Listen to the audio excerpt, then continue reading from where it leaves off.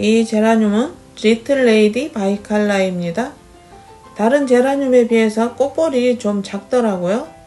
그래서 처음엔 좀 무시했는데 이렇게 꽃대가 엄청나게 올라와서 꽃을 많이 피워주었습니다. 그래서 지금은 이 제라늄을 제가 삽목을 많이 해놨습니다. 그리고 꽃도 굉장히 오래 갑니다. 이렇게 꽃이 이제 많이 진 거는 다 잘라줘야 되겠죠?